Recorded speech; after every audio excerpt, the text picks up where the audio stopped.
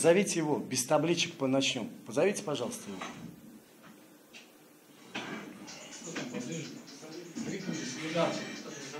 А что звать? Начинаем, да и все. Что его звать? Да потом-то вы, блядь, расставите, не готовите, блядь, ни хрена, блядь.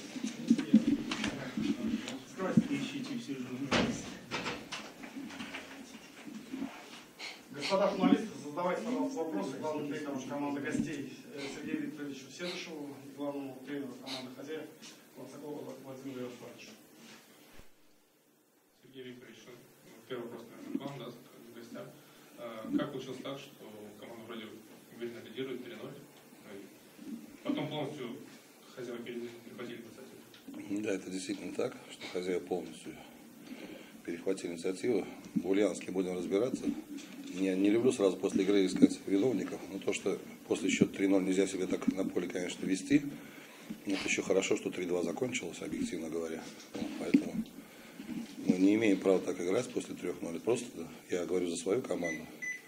Вот, у нас всегда с командой тяжелый матч. А сейчас команду возглавляет мой хороший друг Владимир Концак. Вот мы с ним давно уже знакомы. Вот. Но эти наши отношения не касаются игры.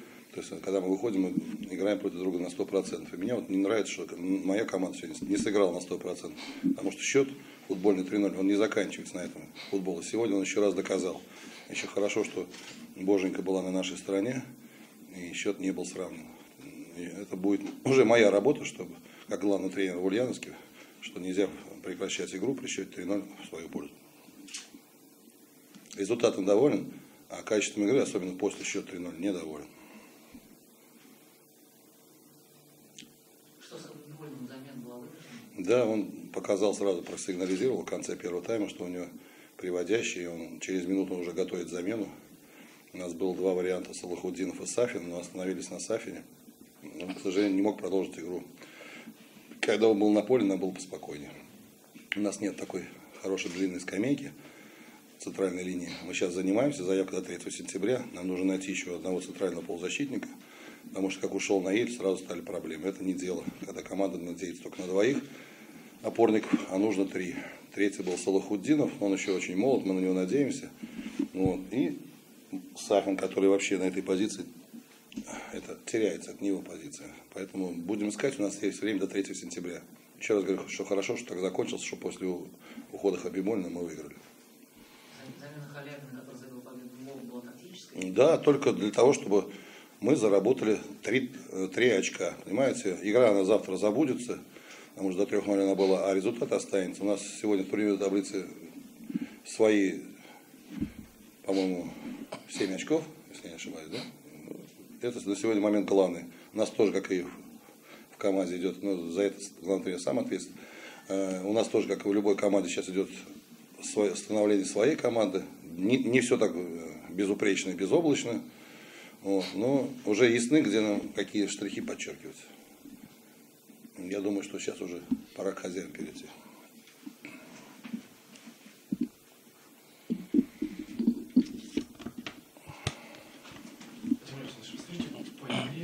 по игре.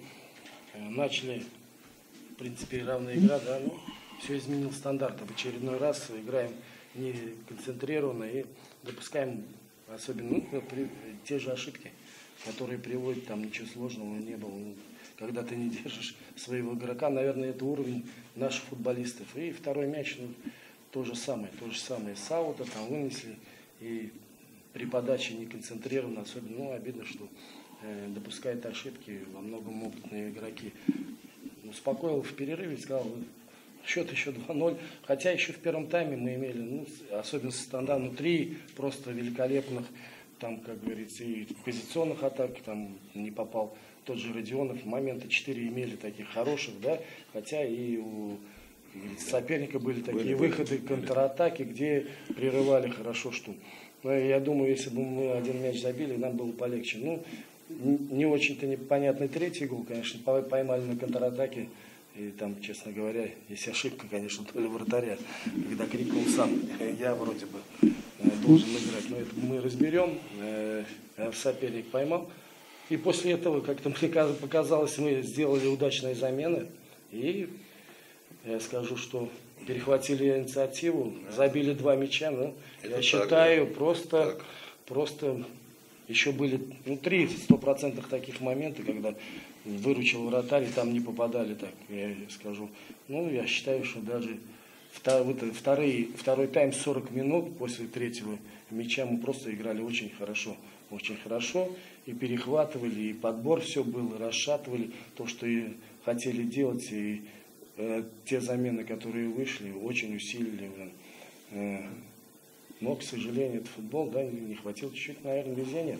Но если мы будем так же играть, я думаю, а последующие игры, ну, придет, наверное. Но надо усилиться, честно я вам говорю.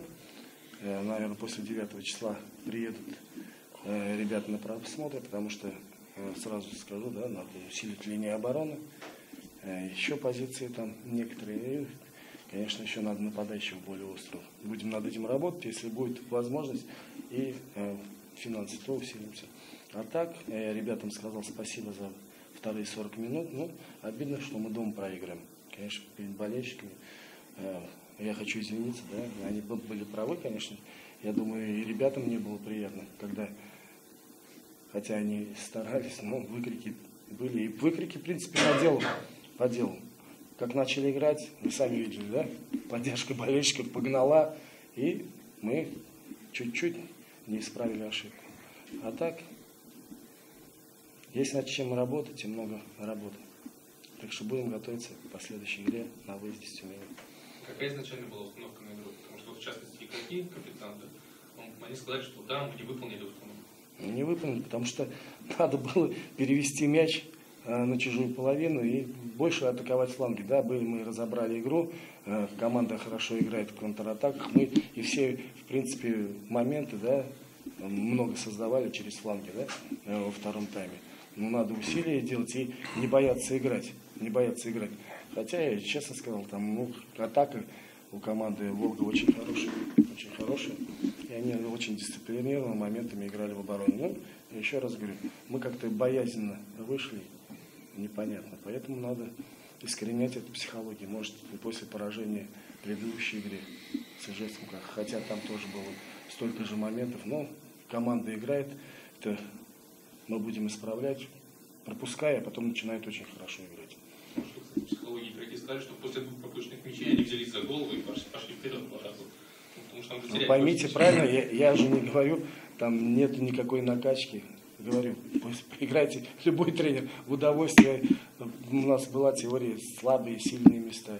То же самое мы и наступаем, но в- даже первый гол. Стандартное положение. Э, э, Человек бежит, а у нас стоит и потом э, смотрит. Но это уровень пока мастерства наших футболистов. Но мы опускаем того же Овечкина, например, да, чтобы он боролся с высоким футболистом, приходит. Я не могу поставить Чушьялу против, например, нападающего, как он, вашего, да, Прокофьева. Прокофьева, да, нападающего, потому что ну, ростовые качества. Овечкин хорошо боролся. Еще скажу, да, я в те раздевалке сказал, где-то некоторым футболистам чуть надо задуматься, наверное, о своем отношении в тренировочном процессе. То есть некоторые избавили, честно говоря. Ну, не дорабатывать, ну, то, что не дорабатывать, не, ну, избавили, мы же не просто ставим там тех или иных игроков. А, закончился тот сезон, они хорошо выглядели, да, но не бывает там месяц прошел и плохо. Это значит, что человек не работает. Если что-то не хватает, индивидуально надо оставаться. Поэтому где-то и тут будем подстегивать. А чтобы подстегивать, вы сами знаете, что надо. Надо конкуренцию. Поэтому будет конкуренция, будет подстегивать. И мне, не- я не от хорошей жизни, да, э, сегодня взял, опустил там того же Сагирова, да, в линию защиты. Ну, у нас Жутанов на предыгровой там ковырнул, сломался, да. Поэтому и пришлось. Ну и усилили атаку удачно будем практиковать. Но в некоторых моментах надо, чтобы фланговые такие игроки были защитниками. У нас не осталось ни одного, кто был на замене. Поэтому плановые выставляли. Вас победа Волги в прошлом туре в Тюмени и предстояло вам в вашей команде по-особому настраиваться на Волгу в игре? мы, в принципе, ну, все удивлены, да? Ну, с хорошей точки зрения, я вот честно говорю. Почему? Потому что, а, посмотрев эту игру, э, там ливень был очень приличный, там, как говорится, и э, Ульяновск, и Волга играл очень хорошо, да? Были выходы, мы разобрали ее, показали, потому что хорошо играл на контратаках, позиционных атаках забил. И со стандартов были вот такие, как говорится, полумоменты. Ну и там Тюмень играл. Ну сейчас, в принципе, вы посмотрите, да, вроде бы лидеры, да, играли там в первом тайме. Я бы не скажу, что у нас конкретно переигрывали, да. Во втором, вот мой коллега сказал, после двух-трех так могли мы сравнять. А еще, может быть, да, потом по- выиграть, да. Сейчас э, такое становление идет, да, команды тоже у нас, по сути дела. И мы, я еще раз говорю, я уже давно сказал, что нам надо, если мы хотим э, это, быть вверху, да, надо усиливаться и качественно. Не бывает, вот э, один пример, да, видите, Сагирова усилили, но все равно качественный игрок стандарты подачи берет на себя, надо еще усилить. Пришел Гараев, но хотим больше, я уже с ним поговорил. Будем еще усиливаться. Надо нападающий еще, чтобы была конкуренция для того же Овечкина. И это. Ну и задняя линия, вы сами посмотрите. Там есть, не буду по фамилиям, есть там, радуют молодые, тот же Родионов, там, ну, я не, не скажу, тот же Кланцак, Сегодня- Кланцак там повыигрывал, там все, перехваты сделал, я уж не люблю, э, как говорится, хвалить своего сына, И больше претензий у меня к нему, там есть над чем работать, но надо и хвалить того же Родиона, Кланцака молодых, вышедших Акбашева, того же Бухарова. Бухаров не играл в составе сегодня, потому что он, он, ну, почти не тренировался эту неделю, у него был ушиб. Поэтому как тренер я не мог выставить, он не готов был на все 90. Выставили Овечкина, но хотелось от него больше. Бухаров очень удачно вышел. Я еще раз повторяю, не только он, все, кто играл, говорится, и вышел на замену, усилили и качественно. Поэтому надо усиление. Но и с этим составом, вы поверьте, да, где-то можно притереться, где-то мы будем играть еще лучше. Еще вопрос. Все, спасибо большое. Вам спасибо.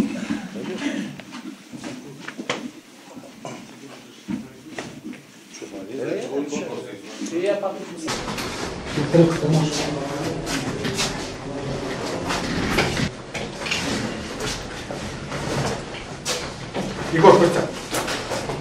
Егор, Костя. Вот там запись.